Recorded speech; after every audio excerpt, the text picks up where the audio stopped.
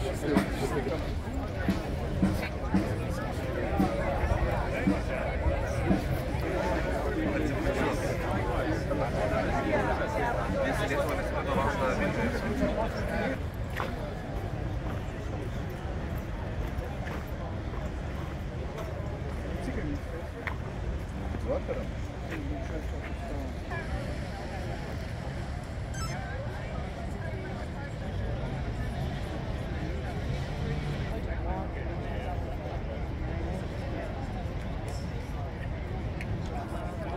hier auch und viele Leute sind bei